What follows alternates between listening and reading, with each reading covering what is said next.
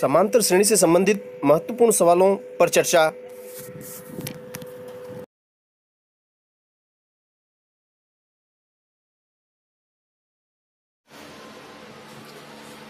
देखो बच्चों, समांतर श्रेणी पे हम अध्ययन कर रहे थे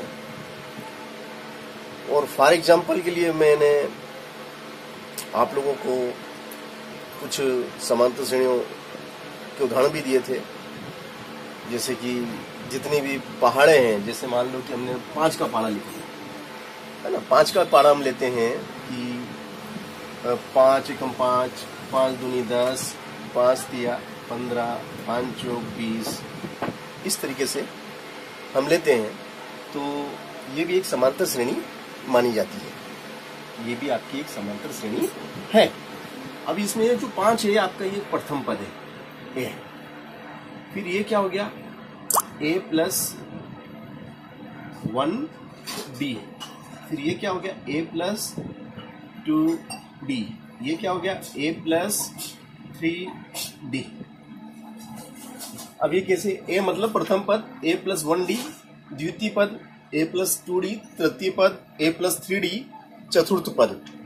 अब कैसे है? देखो ए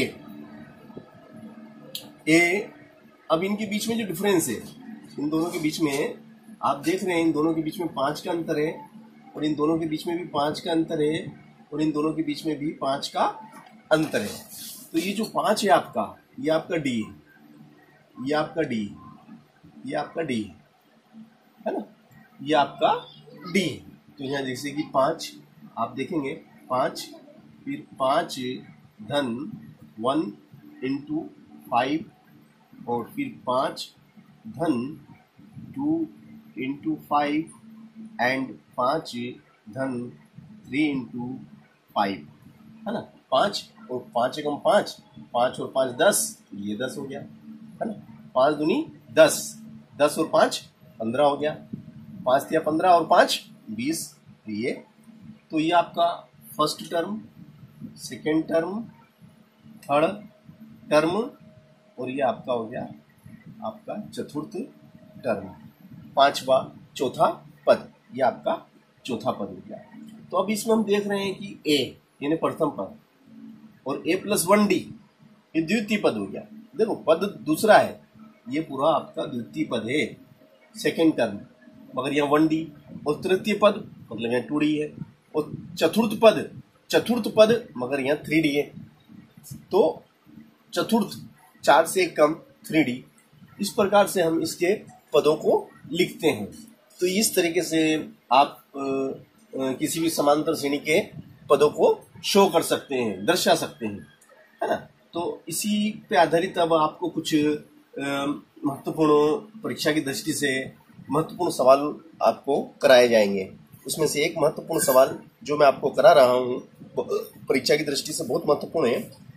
उस एपी का इकतीसवां पद याद कीजिए। उस उस एपी उस एपी का इकतीसवा पद याद करो। याद करो, जिसका जिसका जिसका ग्यारहवा पद अड़तीस, ग्यारहवा पद अड़तीस और सोहलवा पद और सोहलवा पद सेवेंटी थ्री है। तिहत्तर, सेवेंटी थ्री, तिहत्तर है। तो इस तरीके से आपको एक सवाल दिया गया है कि उस एपी का, उस समंत्र श्रेणी का इकतीसवा पद क्या होगा जिसका ग्यारहवा पद तो अड़तीस है और सोलवा पद तिहत्तर है। वेरी सिंपल अब इसमें देखो आप ये लिखा हुआ ग्यारहवा पद। कौन सा पद है? ग्यारहवा पद। अब ग्यारहवा पद इसको अगर हम सॉल्व करें तो बहुत ही सरलता से ही हो जाता है। है ना? ग्यारहवा। ग्यारहवा पद। अभी मैंने आपको थोड़ा सा इंट्रोडक्शन कराया था कि पहला पद तो ए और दूसरा पद क्या हो गया आपका? दूसरा पद आपका हो गया ए दूसरा पद क्या हो गया? ए प्लस वन डी पद दूसरा है, मगर वन डी तीसरा पद क्या हो गया? ए प्लस टू डी तो इसी प्रकार ग्यारहवा पद क्या हो जाएगा? ए प्लस टेन डी है ना? ग्यारहवा पद जैसे जैसे कि दूसरा पद क्या था? वन डी तीसरा पद क्या था? A plus three D A plus two D और चौथा पद क्या था? ए प्लस थ्री डी इसी प्रकार ग्यारहवा पद क्या हो जाएगा? ए प्लस टेन डी तो ये ग्यारहवा पद हो गया। ग्यारहवा पद ये है ना? और आपका सोलवा पद सोलवा पद कितना है? ए प्लस पंद्रह डी ए प्लस पंद्रह डी अब ग्यारहवा पद कितना दिया? अड़तीस। ग्यारहवा पद आपको अड़तीस दे रखा है। तो आप इसकी जगह अड़तीस फुट कर दो। इसकी जगह अड़तीस फुट कर और सोलवा पद कितना दिया? सेवेंटी थ्री फुट कर this is equation is one this is equation is two अब आप देख रहे हैं। विलोपन विधि से बड़ी सरलता से हो रहा है कि यहाँ पे ए ए सेम है। है ना? तो अब यहाँ पे हम लिख सकते हैं घटाने पे। घटाने पर एक में से दो को, समीकरण एक में से दो को घटा देंगे। तो ये घटाने पे चिन्ह बदल जाएँगे। ये आपका प्लस वाला था, मगर अभी माइनस का हो गया। ये भी माइनस का हो जाएगा आपका। है ना? और ये माइनस का हो गया। अब माइनस का ए और प्लस का ए कैंसिल और ऋण के पंद्रह डी में से दस डी गया तो माइनस के कितने बचेंगे माइनस के? Five D. है ना? माइनस के पाँच डी। बचेंगे स्पीड कम करना? पाँच डी। है ना? वो बराबर। अब यहाँ माइनस के कितने हैं? ये माइनस के आपके सेवेंटी थ्री। सेवेंटी थ्री में से आपको थर्टी एट घटाना है। तो एक इसको देंगे तेरह। तेरह में से आठ गए तो पाँच। है ना? पाँच और इसने किसको दिया तो छह छह में से तीन गया तो तीन मगर माइनस के क्योंकि माइनस के अधिक है। अब ये वाला माइनस ये वाला माइनस और ये माइनस कैंसिल आप देखेंगे डी बराबर कितना हो जाएगा?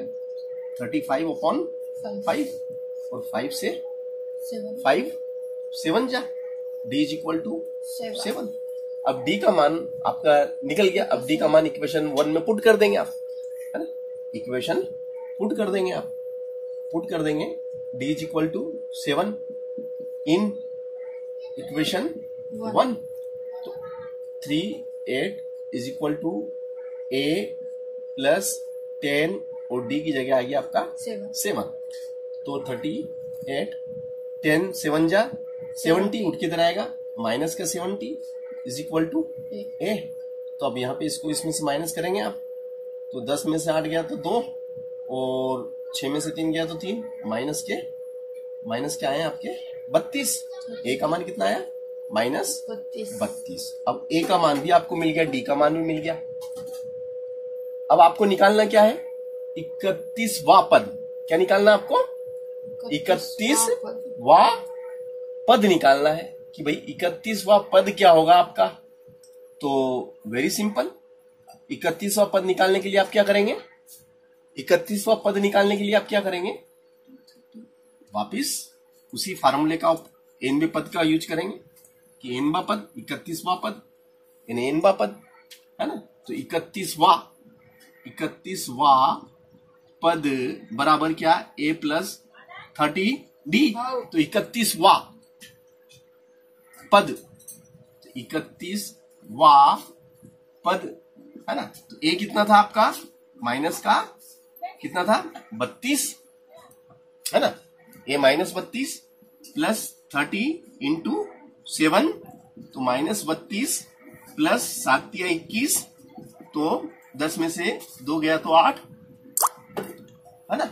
यहाँ पे ज़ीरो बीस, सत्रह one seven eight one seven eight इस तरीके से इकतीस वा पद इकतीस वा पद आपके सामने निकल चुका है। एक सौ अठहत्तर आपका इकतीसवा पद आया। तो हमने इसमें करा क्या है? हमने सवाल को पढ़ा कि भैया इकतीसवा पद याद करो ग्यारहवा पद अड़तीस है सोलवा पद तिहत्तर है। तो सीधी सी गणित लगाई हमने। हमने सीधी सी गणित इसमें ये लगाई है कि पहले तो हमने देखा कि भाई पदों को किस प्रकार से लिखा जाता है। प्रथम पद ए तो द्वितीय पद ए प्लस वन डी तृतीय पद ए प्लस टू डी चतुर्थ पद ए प्लस थ्री डी पंचम पद ए प्लस फोर डी तो मतलब पांचवा पद तो डी कितना? चार। छठा पद छठा पद अगर लिखेंगे तो क्या लिखेंगे? A plus five D D मतलब एक कम। छठे की बात करेंगे तो पाँच डी इसी प्रकार सोलवा पद तो सोलवा पद तो मैंने यहाँ लिखा पंद्रह डी उसमें लिखा था मैंने पंद्रह D A plus fifteen D है ना? फिर ग्यारहवा पद तो ए प्लस टेन डी और इस प्रकार से हमने इक्वेशन वन एंड टू विलोपन विधि से हल करी ए और डी के मान निकले, और इकतीसवा पद तो A plus thirty D A और डी का वैल्यू पुट करा, उत्तर आ गया। तो वेरी सिंपल क्वेश्चन मगर परीक्षा की दृष्टि से इज़ वेरी इंपॉर्टेंट महत्वपूर्ण सवाल।